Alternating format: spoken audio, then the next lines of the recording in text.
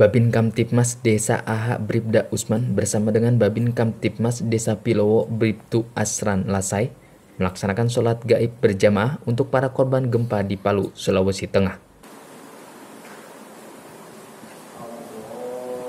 Kegiatan sholat gaib berjamaah tersebut dilaksanakan di Masjid Nurul Iman, Desa AHA, Kecamatan Morsel, Kabupaten Pulau Morotai.